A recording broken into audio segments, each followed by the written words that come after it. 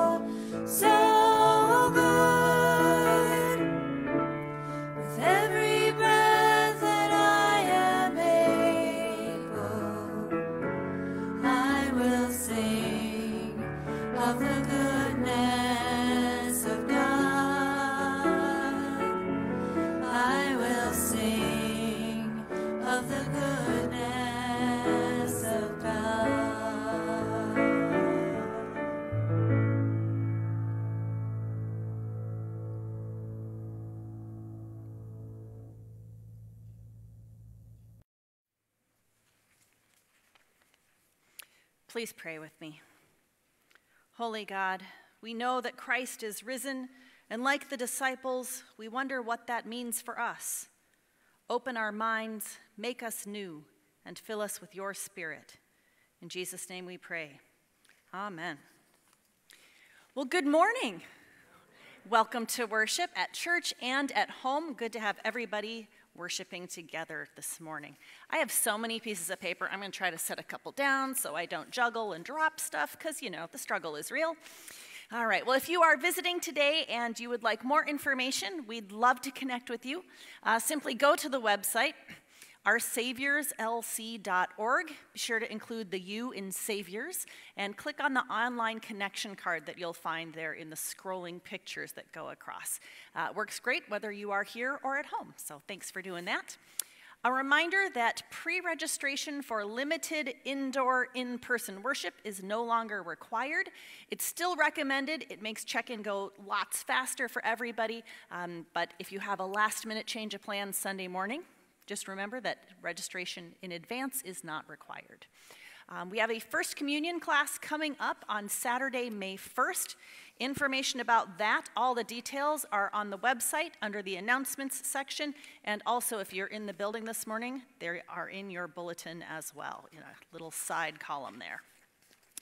Today, we will be sharing Holy Communion as part of worship this morning. So if you're at home, you'll want to gather wine and bread or bread and wine or grape juice for that. If you're here in the building, you should have gotten communion elements from the ushers. If you still need those, just hop back and see an usher and they will help you out. Thank you to Director of Confirmation and Youth Ministries, Leisha Tays. She's helping lead worship this morning. She's doing the children's message, which is excellent. Um, so thank you for helping out as Pastor Carrie is taking a well earned Sunday off uh, while finishing up her daughter's soccer tournament. So all right, let's see. Um, after worship, join Leisha online for Zoom coffee hour. Web link is on the website. And a few reminders for those of you who are in the building for worship this morning. Thank you for keep wearing your mask over both your mouth and your nose as we while you are in the building this morning. That's so important as we do our best to keep one another safe. Um, the band and the words to the songs will be on the screen this morning. Just let the music wash over you. We're not quite at a place where we can do congregational singing yet.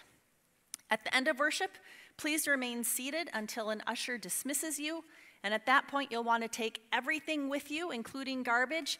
And at the doors, as you leave the worship space today, you will find garbage cans, recycling, and offering baskets. So all that is at the doors for you this morning. And after worship, normally we don't do this, but it's a pandemic. So after worship, we lovingly ask you to exit the building and chat with one another outside. It is beautiful out there, so it's a great day to stay around for a little bit and talk to one another outside. I think that's all the announcements. I feel like I should have a post it note falling or something somewhere, but it was just those. So we're good. we continue our worship this morning with our scripture.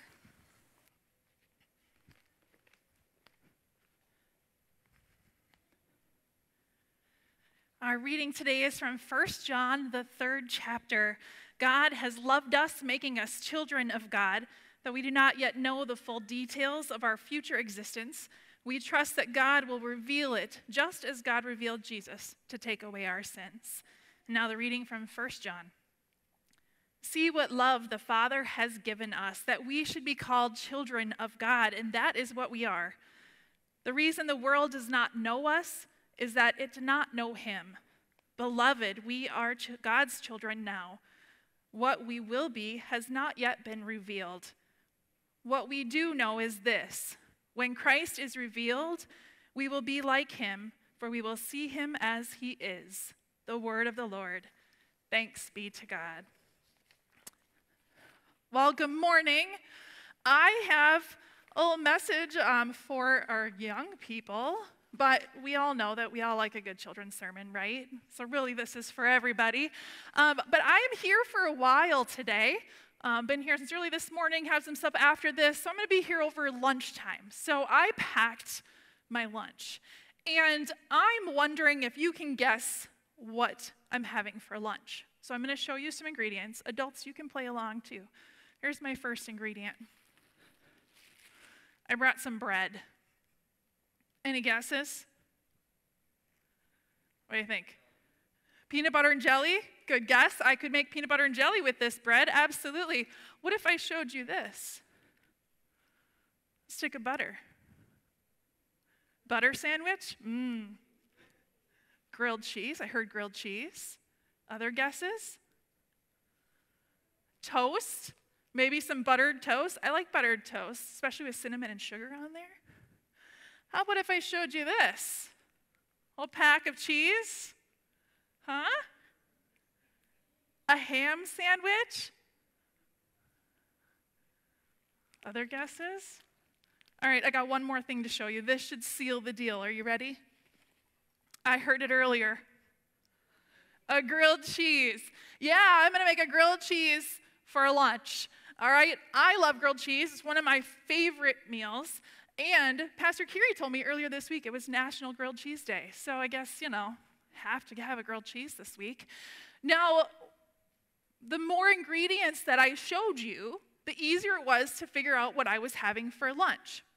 So I wonder, this kind of reminds me of the story today that we hear about Jesus. So Jesus died, has come back from the dead, and is just hanging out with his disciples for a while, which I find kind of crazy.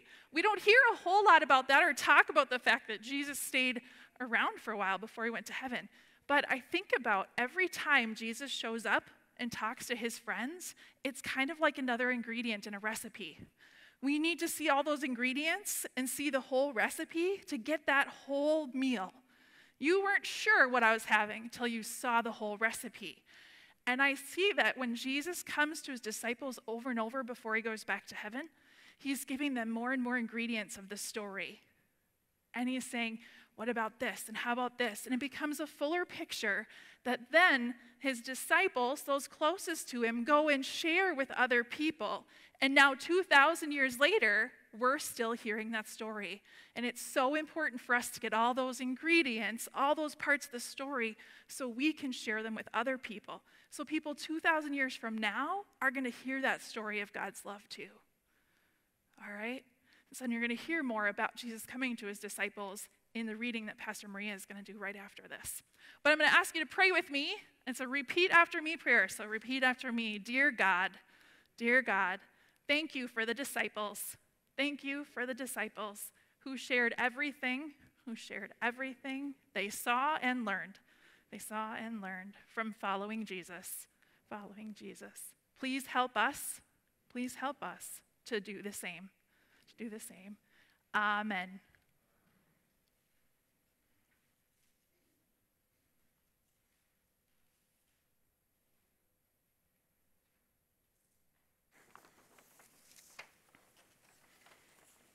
Well, our gospel for this morning comes from the gospel according to Luke, the 24th chapter.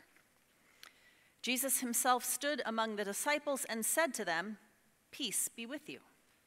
They were startled and terrified and thought they were seeing a ghost. He said to them, Why are you frightened, and why do doubts arise in your heart? Look at my hands and my feet. See that it is I myself. Touch me and see, for a ghost does not have flesh and bones, as you see that I have. And when he had said this, he showed them his hands and his feet. While in their joy they were disbelieving and still wondering, he said to them, Have you anything here to eat? They gave him a piece of broiled fish, and he took it and ate in their presence.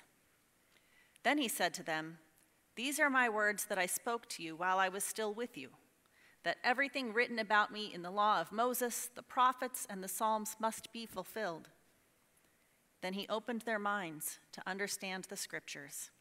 And he said to them, Thus it is written that the Messiah is to suffer and to rise from the dead on the third day, and that repentance and forgiveness of sins is to be proclaimed in his name to all nations, beginning from Jerusalem.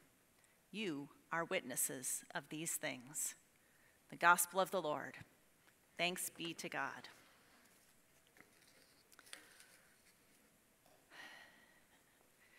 Well, it's been a tough week practically every morning there's news of a tragedy. Daunte Wright in Brooklyn Center, charges filed, newly released footage of Adam Toledo in Chicago, the FedEx warehouse in Indianapolis. All of this, along with updates of the trial in Minneapolis, peaceful protests, violence and looting, in addition to the continuing trauma of dealing with a pandemic. Trauma upon trauma for individuals, for families, for communities, for all of us. It's a lot. And that list isn't even complete. Saturday morning, I woke up and saw news that there was a ship that went down and they're trying to find survivors. I mean, there's so much going on. There has been a lot of pain, a lot of trauma. And in the past few months, every time it feels like the wheels have come off again, the words that come to mind are from Paul's letter to the Romans. What then are we to say about these things? It's a good question. what then are we to say about these things? I think we acknowledge the pain of everyone affected. We acknowledge the trauma. We acknowledge the suffering we acknowledge the fear. We acknowledge the loneliness and sense of isolation. We acknowledge the grief, the loss. We acknowledge the struggles. We gather together to worship and we turn to the scriptures for a word of hope. In Luke, Jesus says words I know I need to hear today. He says, Peace be with you. Jesus shows up and says, Peace be with you. He says that to his disciples who just days earlier saw him crucified. I mean, they'd been through their own trauma. And with the empty tomb, they weren't sure what to think. They were amazed to hear that Jesus had risen from the dead.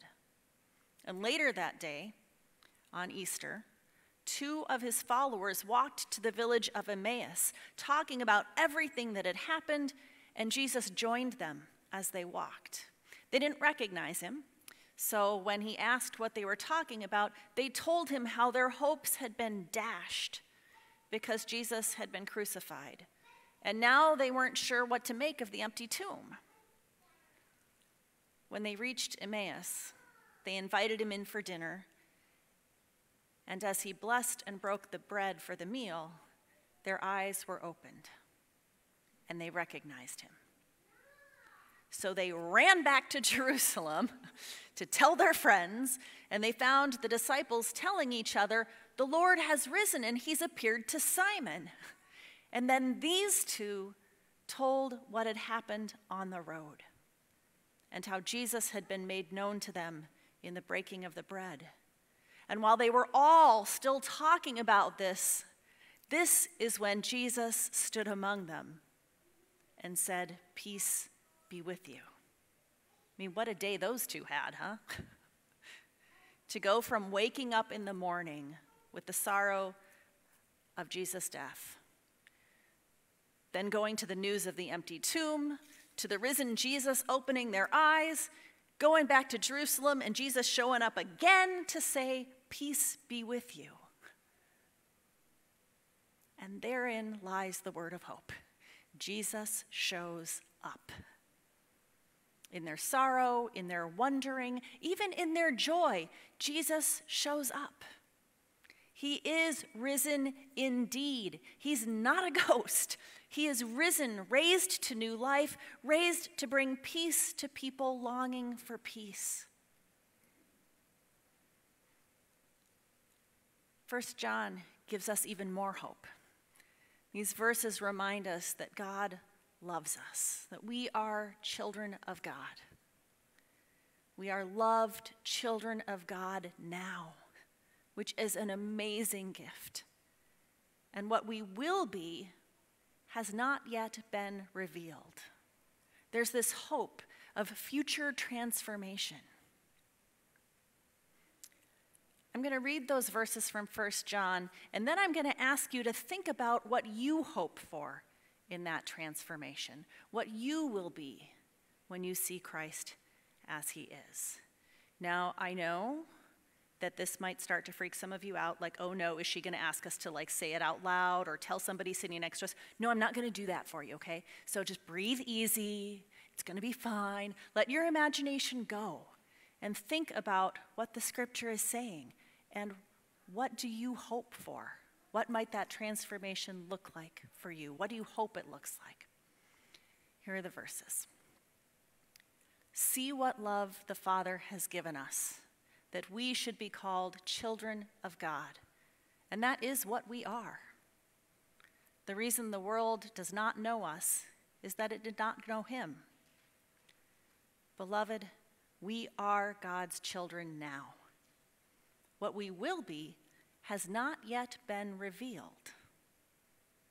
What we do know is this when Christ is revealed, we will be like him, for we will see him as he is. What do you hope for? I'll give you some time to reflect on that. How do you hope to be transformed when you see Christ as he is?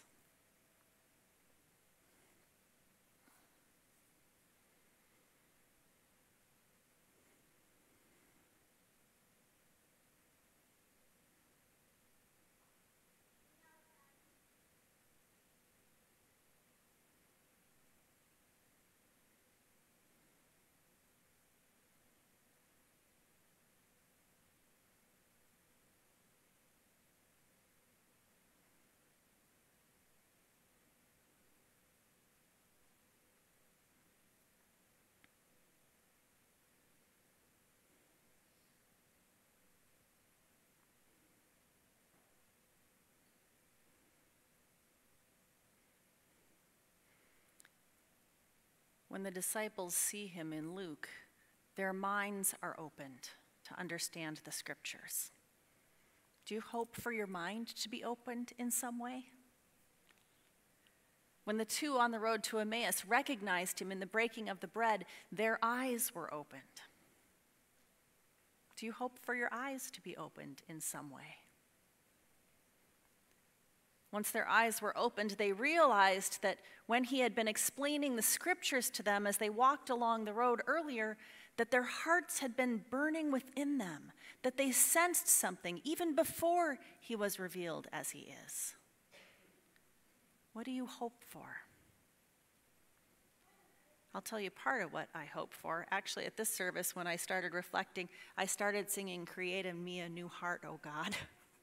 Maybe somebody else needs a new heart too. But part of what I hope for is to be moved to loving action. Even though I feel like whatever I do will be inadequate. And maybe I'm the only one who feels like this, but with everything that's happened this past week, anything I can think of to do or say to make the world better just seems really insufficient. But that shouldn't stop me from doing what I can, right? And this is the boat we find ourselves in. We're limited, but we're not without hope. We're only human, but we're empowered by the risen Christ. So I join those of you who dropped off food and other items to go to the food shelf that serves two elementary schools in Brooklyn Center.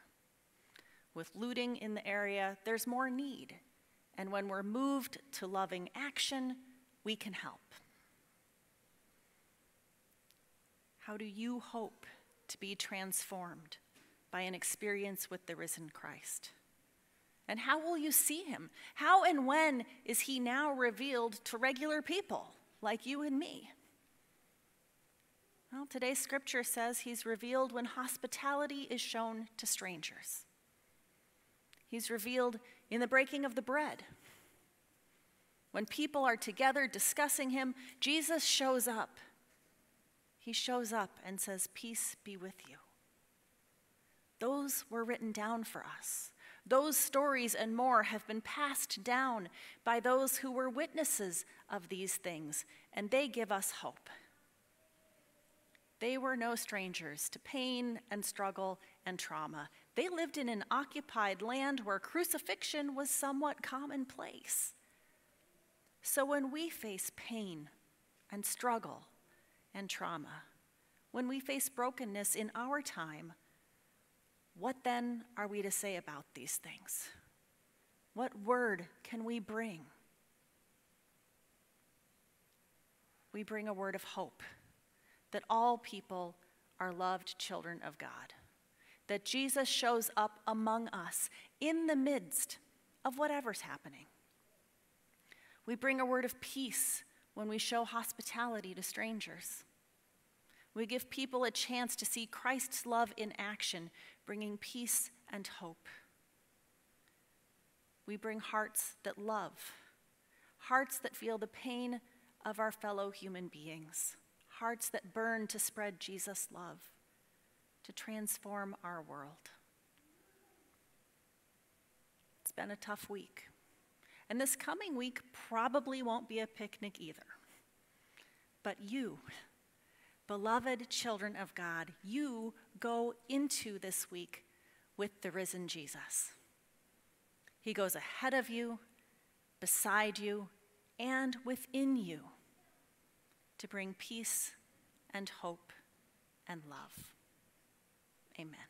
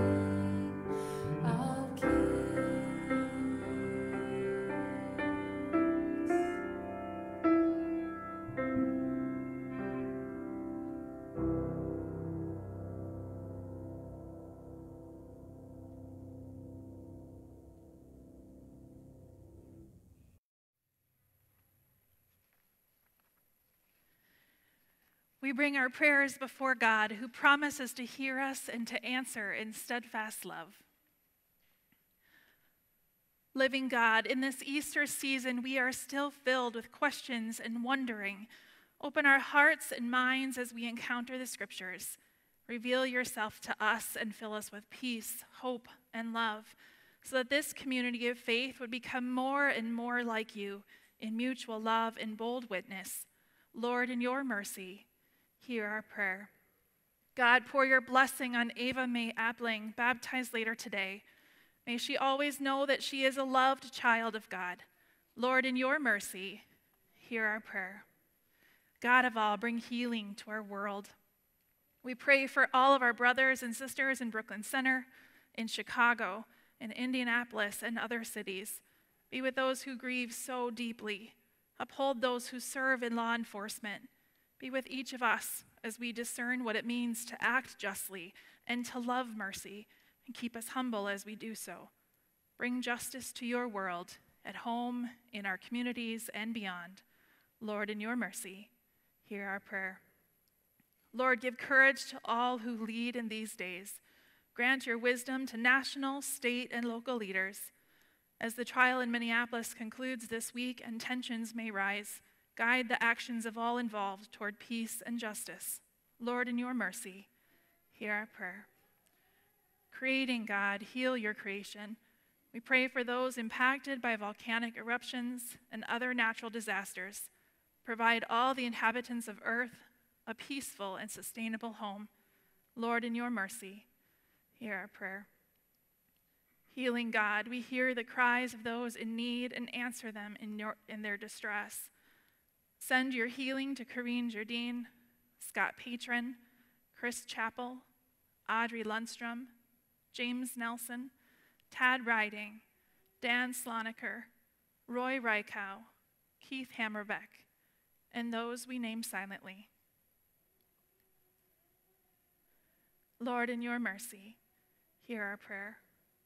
God of eternity, with your promise of eternal life, comfort those who mourn today. Bonnie Grant at the death of her father, Roger Johnson. Judy Blomgren, the death of her uncle, Edwin Blomgren. Wendy and Gary Sundin at the death of Wendy's mother, Dolores Kochensky. And Corey Sawyer at the death of her mother, Carol Sawyer. Lord, in your mercy, hear our prayer. We raise our prayers to you, O God, trusting in your never ending goodness and mercy through Jesus Christ our Lord. Amen. Now is the time when we consider our offerings. If you're here in person today and would like to give an offering, there will be baskets by the doors as you exit today. You can drop that there. Otherwise, you can mail a check to the church. You can give through the website, oursaviourslc.org, or you can text a dollar amount to 1 855 708 0699. Or you can sign up for automated giving by contacting our bookkeeper, Kim, in the church office. Let us pray. God of love, you call us beloved children and welcome us to your table. Receive our lives and the gifts we offer. Walk with us and send us in service to a suffering world for the sake of your Son, Jesus Christ. Amen.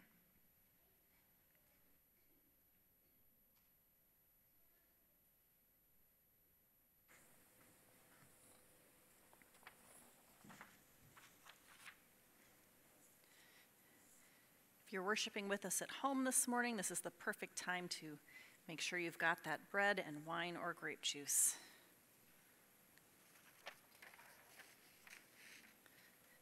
As we share this meal, and I hear the crinkling here of everybody getting their stuff ready. Well done. In the night in which he was betrayed, our Lord Jesus took bread, he gave thanks, broke it, and gave it to his disciples, saying, Take and eat. This is my body given for you. Do this for the remembrance of me. Again, after supper, he took the cup, gave thanks, and gave it for all to drink, saying, This cup is the new covenant in my blood, shed for you and for all people for the forgiveness of sin. Do this for the remembrance of me. We remember him as we pray the prayer he taught. Our Father in heaven, hallowed be your name.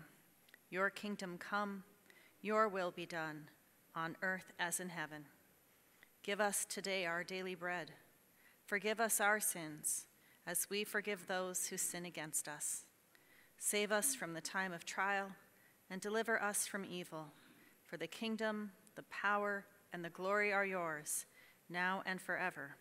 Amen. As you receive this meal, hear these words The body of Christ is given for you, and the blood of Christ is shed for you.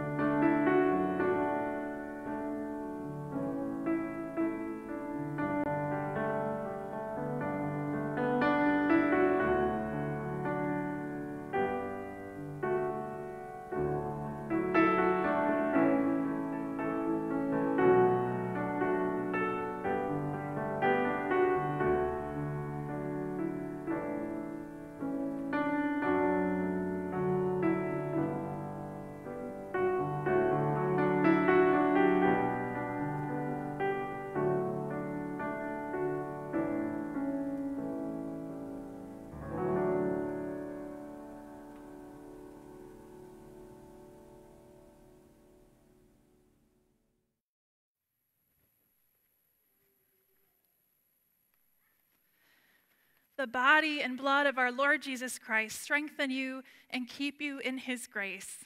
Amen. Let's pray. God of joy, through this meal you have put gladness in our hearts.